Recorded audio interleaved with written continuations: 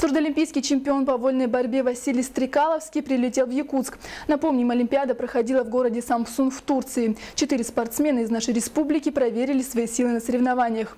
Василий Стрекаловский весовой категории до 70 килограммов стал обладателем золотой медали. В финальной схватке с иранским чемпионом Василию удалось одержать победу. Таким образом, в последний день соревнований Василий поставил яркую победную точку. Ну, выступил на своем плане хорошо, с тренером хорошо выступили. Что можешь сказать о своих соперниках? Ну, все сильные, все хотят выиграть. Ну, слава богу, выиграли. Отец и мини- министр спорта был, и Сушим директор был.